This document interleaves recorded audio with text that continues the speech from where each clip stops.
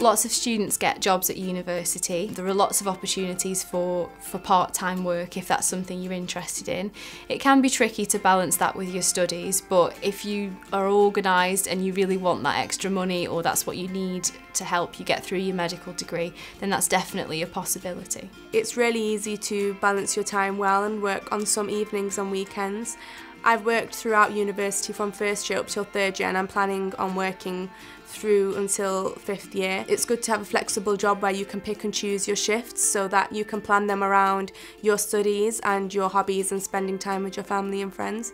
Maybe not too many hours during the week if you feel as though that's going to harm your grades, but it's definitely doable. I personally have been working as a, as a student ambassador uh, at the university, which is my kind of part-time job. While I've been here, I've worked as a student ambassador, I've worked summarising notes in a GP practice, I've worked in a pub. What I did was I just had a job during my summer holiday and worked full-time and I didn't have to have a job during the rest of the year. There's a great career service at the University of Manchester that will actually help you to get a summer job, a summer internship, voluntary work or even part-time jobs in and around Manchester if you need to.